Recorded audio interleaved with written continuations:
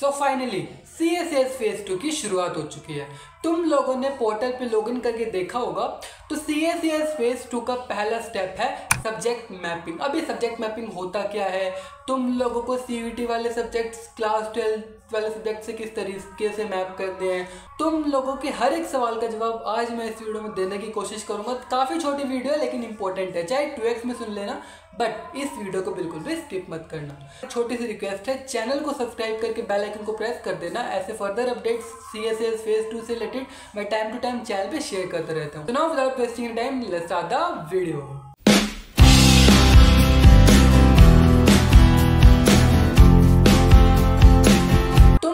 शायद याद होगा दिल्ली यूनिवर्सिटी ने ये बात पहले ही क्लियर करी थी। तुम लोग उसी सब्जेक्ट का सीवीटी एग्ज़ाम दोगे जो तुम लोगों ने क्लास ट्वेल्थ में पढ़ा है। अगर कोई ऐसा सब्जेक्ट है जो तुमने सीवीटी में तो दे दिया, लेकिन क्लास ट्वेल्थ में नहीं था तो वो सीवीटी सब्जेक्ट कंसिडर नहीं होगा।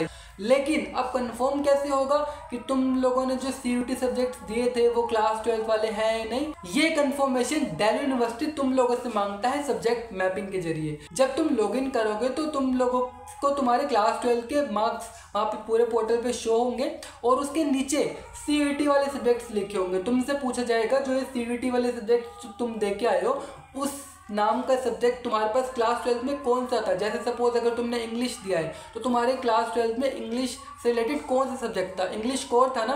बस उसी को ड्रॉप डाउन मेन्यू की हेल्प से सिलेक्ट करना है और इंग्लिश सब्जेक्ट को जो तुमने सी में दिया है, उसको मैच करना है इंग्लिश कोर्स से। ऐसे ही जो भी तुम लोगों ने सी सब्जेक्ट जैसे कि अकाउंट्स दिया है तो अकाउंट्स को तुम्हारे क्लास ट्वेल्थ में जो अकाउंटेंसी सब्जेक्ट था, उससे मैच करना पड़ेगा। ऐसे ही डिफरेंट डिफरेंट बोर्ड में जो तुम लोगों ने सब्जेक्ट सी में दिया है, वही सेम नाम का सब्जेक्ट जो तुम्हारी क्लास ट्वेल्थ में था, उसको उससे मैच करना है, ठीक है? अब बात करते हैं एडिशनल सब्जेक्ट की, जो तुमने क्लास ट्वेल्थ में दिया था। अगर वो एडिशनल सब्जेक्ट तुमने सी में भी दिया था तो मैप करने का ऑप्शन वहाँ पे आएगा। बट अगर वो एडिशनल सब्जेक्ट तुम्हारे सी में भी नहीं था तो सब्जेक्ट मैपिंग का उससे कुछ लेना देना है ही नहीं, क्योंकि सब्जेक्ट मैपिंग ये कहती है, जो तुमने सब्जेक्ट सीवीटी में दिया है, उनको उस नाम के सब्जेक्ट को मैच कर दो, जो तुम लोगों ने अपनी क्लास ट्वेल्थ में दिया है। बस जनरल टेस्ट को इससे एक्सक्लूड कर देना, क्योंकि जनरल टेस्ट क्लास ट्वेल्थ में किसी के पास नहीं था तो डेली यूनिवर्सिटी भी बात जानती है। तो जनरल टेस्ट नाम का जो सब्जेक्ट जो तुमने सी में दिया है, उसके लिए सब्जेक्ट मैपिंग नहीं है, ठीक है? कुछ most important terms and condition जो सब्जेक्ट मैपिंग से रिलेटेड पोर्टल पे भी मेंशन है।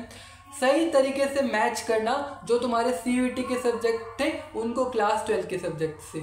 कुछ भी अगर गलती करी तो सवारी अपने सामान की खुद जिम्मेदार है। और हाँ जिस तरीके से सब्जेक्ट तुम्हारी क्लास ट्वेल्व की मार्कशीट में मेंशन है थ्योरी के मार्क्स प्रैक्टिकल के मार्क्स कंबाइन करके जो लिखे हुए हैं, उसी तरीके से तुमको अपने पोर्टल पे भी डालने हैं। कोई भी गलती वहाँ पे मत करना।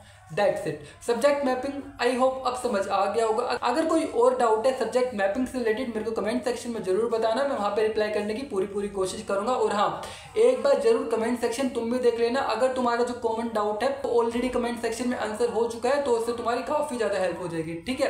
बाकी इस वीडियो को अपने उन फ्रेंड्स के बीच में ज़रूर शेयर कर देना जिनको सब्जेक्ट मैपिंग से रिलेटेड प्रॉब्लम हो रही थी या फिर समझ ही नहीं आ रहा था। बाकी मैंने मेजर डाउट तो इस वीडियो में क्लियर कर ही देंगे।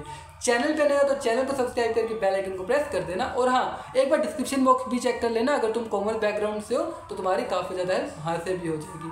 So this is Jitin Kumar signing हो फिर मिलते हैं किसी अगली वीडियो में किसी नए टॉपिक के साथ। तब तक के लिए बाय